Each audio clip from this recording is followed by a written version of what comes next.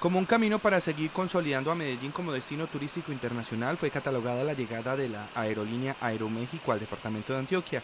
Según las autoridades, la idea es superar los 12.000 visitantes que llegaron de ese país en el 2014. México, uno de los socios comerciales más importantes de Colombia, con un intercambio comercial que llega a los 7 mil millones de dólares.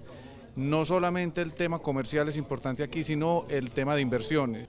Creo que todavía falta hacerle mucho más, creo que hay que mostrarle más al mercado mexicano las experiencias mágicas que ofrece Colombia en sus distintos eh, destinos, pero creo que vamos por un buen camino en cuanto a crecimiento.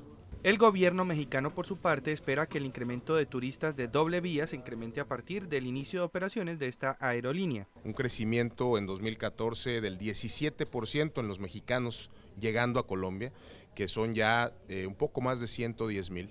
Aeroméxico, la aerolínea más grande de ese país, inició operaciones entre la Ciudad de México y Medellín con un total de cuatro vuelos semanales operados por equipos Boeing 737 y capacidad para 124 pasajeros. Con esta nueva ruta se incrementa a 244 los vuelos internacionales hacia la capital antioqueña.